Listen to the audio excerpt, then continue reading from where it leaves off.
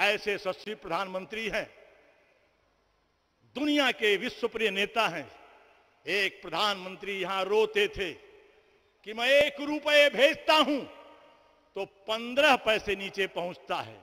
और एक प्रधानमंत्री यशस्वी मानी मोदी जी है कि जितना दिल्ली से भेजते हैं, सब नीचे शत प्रतिशत रुपया पहुँचता है, उसका परिणाम है कार्य योजनाएँ ऐसे माननीय मोदी जी का अभिनंदन करते हुए आपकी जो सोच है महापुरुषों के सम्मान की, उस सोच का अभिनंदन करते हुए आपने पंडित मदन मोहन मालवीय को भारत रत्न, पंडित अटल बिहारी वाजपेयी को भारत रत्न, दुनिया की यशस्वी, आज वो आठवें आश्चर्य के रूप में माना जा रहा है, सरदार वल्लभ भाई पटेल की सबसे ऊँची प्रतिमा नर्मदा तीर्थ स्थल बनाया।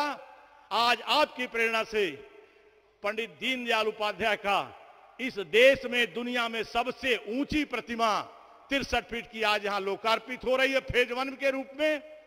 मैं आपका अभिनंदन बनकर करते हुए, अपने क्षेत्र में सभी का अभिनंदन बंदन करते हुए, मन का एक भाव रखते हुए अपनी बात पूरी कर रहा हूँ।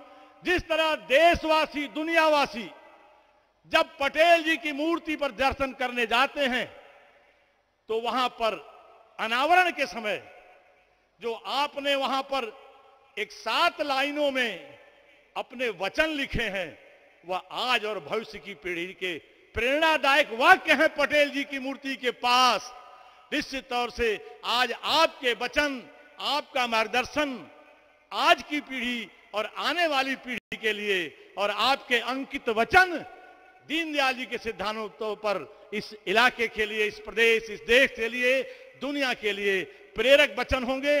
सदियों सदियों अनंत काल तक लोग नरेंद्र मोदी के वचनों पर अपने जीवन आदर्श अपनाएँगे। इस विश्वास के साथ हमारे ये संसदीय क्षेत्र की परिधि का विषय नहीं है, यह विश्व का विषय है, संपूर्ण राष्ट्र का विषय है। आपके आगमन का सभी अभ्यर्थियों का अभिनंदन करता हूँ, वंदन करता हूँ और आज के उस अवसर पर आपके प्रेरणा से, कौशल विकास के जो हमारे बड़ा रोज़गार मेला आपके क्षेत्र में हुआ, उसके भी बच्चों को आपका आशीर्वचन मिलेगा। इसके लिए भी आपका अभिनंदन करता हूँ। बहुत बहुत आदर के साथ माननीय मोदी जी और सभी को नमस्कार।